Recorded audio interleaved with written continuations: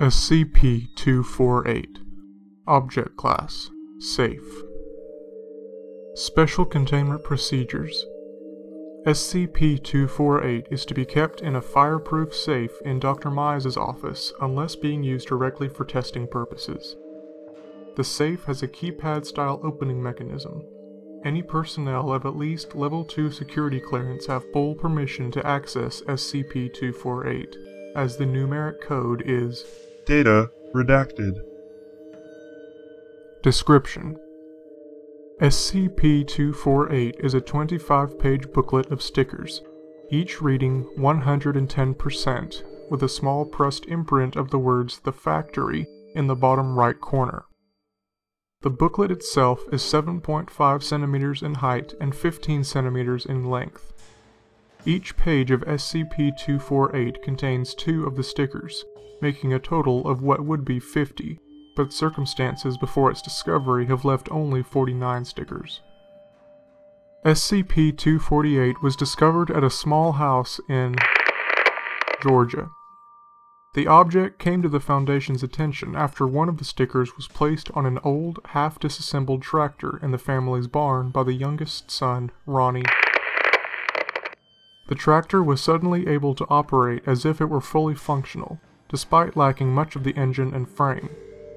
Agents removed SCP-248 and the tractor from the family in exchange for a bogus coupon for free pesticides for the farm. The family was administered standard Class A amnesiacs and left alive. Dr. Mize received SCP-248 upon its arrival to site and took deep interest in its apparent abilities. The tractor is now labeled SCP-248-1. See Addendum 248-01 for testing of SCP-248-1. Testing of SCP-248 has been approved by Dr. Mize. See Addendum 248-02 and below for preliminary tests. Remaining stickers in SCP-248 46. Addendum 248-01 SCP-248-1 is a 1979 John Deere tractor in an extremely rusted state. Most of the engine is missing, apparently from a restoration that was never completed. The frame is also partially missing near the rear of the tractor, where the driver would be positioned. A sticker from SCP-248 is located near the back behind the left wheel. Upon turning the key to the ignition, SCP-248-1 starts up and operates as if it were in pristine condition. It is capable of achieving speeds up to 42 km per hour, slightly faster than a typical tractor of that specific model. Though the tractor operates with no engine, gasoline is still required to maintain power. Removal of the gas tank resulted in SCP-248-1 becoming non-functional in all aspects. The whole of SCP-248-1 is to be held in hangar of site for future tests regarding the need for fuel, but lack of engine to create forward motion. Addendum 248-02 Testing of SCP-248 on a brand computer. A sticker from SCP-248 was placed on the motherboard of the computer, which was then started up like usual. The speed of the computer was greatly enhanced, as noted by Dr. the owner of the computer. Diagnostics of the PC reveal the disk space to have increased from its maximum of 250 GB to 275 GB as expected. The RAM had also reached the expected 110% efficiency. However, the interior was also experiencing similar results. The heatsink was pulling off 10% more heat than usual, and the conductivity of the wiring was allowing electricity to flow 10% more smoothly than the best modern superconductors. Why the wiring is achieving such a high rate of non-resistant flow compared to the heatsink slightly above optimal cooling is not understood at this time. Removal of the battery rendered the computer useless, just as in Addendum 248-01. Further study of SCP-248 and power supplies has been noted for future tests. Dr. computer is now labeled SCP-248-2 and is to be kept in Dr. Mize's top desk drawer. The drawer is opened via numeric keyboard, the password to which is Data redacted.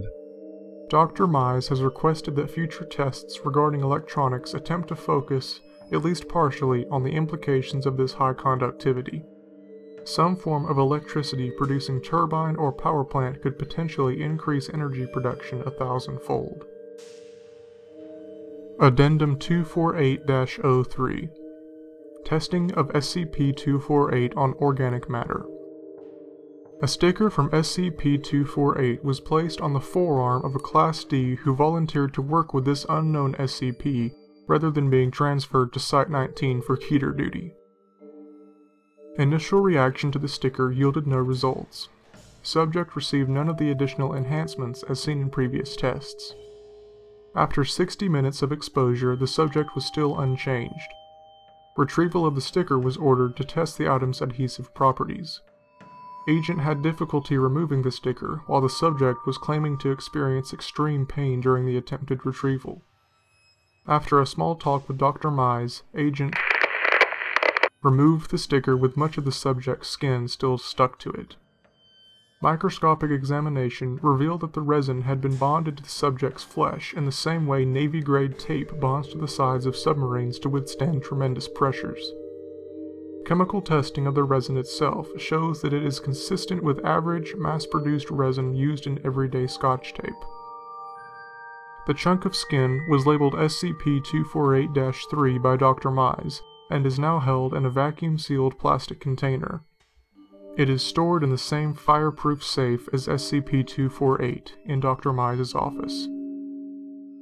Addendum 248-04 Testing of SCP-248 on SCP-248-1. Attempted removal of sticker. Agent asked to try and remove the sticker with his fingers.